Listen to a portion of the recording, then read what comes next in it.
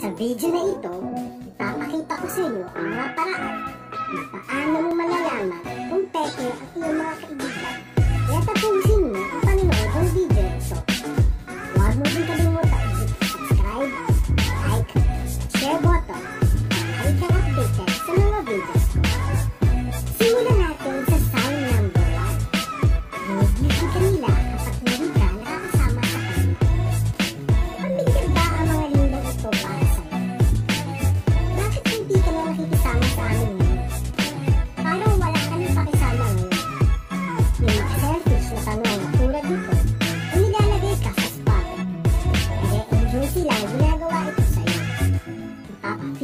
tayo na guilty ka dahil hindi ka makasabay sa gusto nila. Kung madalas at madalas mo nararamdaman ito kapag kasama mo sila, mabuti pa na i-consider mo yung friendship mo sa kanila. Huwag na huwag kang magpapol sa guilt trip na gusto nilang mangyari sa'yo. Maaayon sa bandang huli na maging topic kanila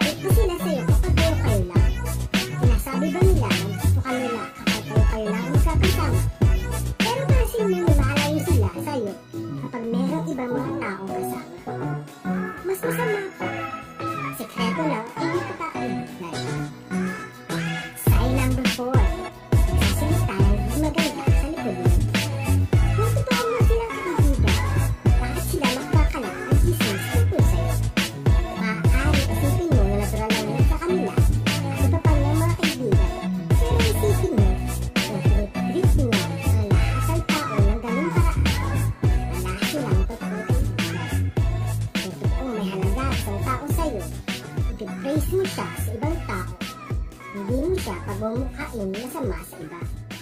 Sign number 5. Hindi ka nila kakusapin kapag meron kayong disagreement. Ang mga tao na may kalimitang may pagkakaiba-iba na katulad. Wala namang tao ang katulad mo sa mundo, hindi sarili mo lang. Ang pag-test ng pagkakaibigan, ang disagreement.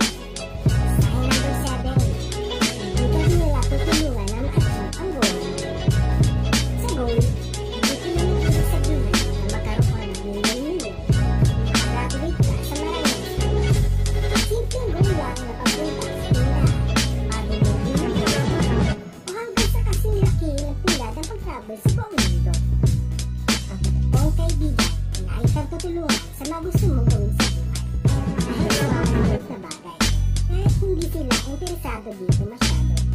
Halimbawa, kung gusto mo ng boyfriend o girlfriend, ako offer ba ang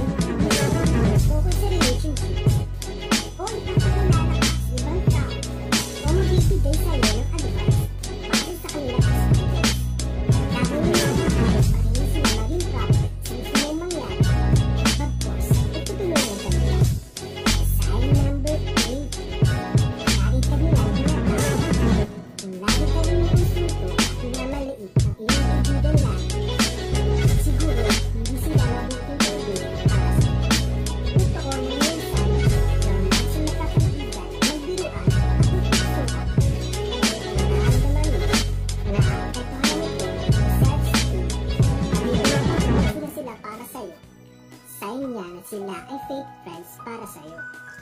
Sign number 9. Storbo para sa kanila at iyong mga pangangailangan o gusto. Lagi ka bang ginagawang guilty ng kaibigan mo kapag may gusto kang gawin at kailangan mo sila? Lagi bang optional lang ang iyong mga mahalagang bagay para sa'yo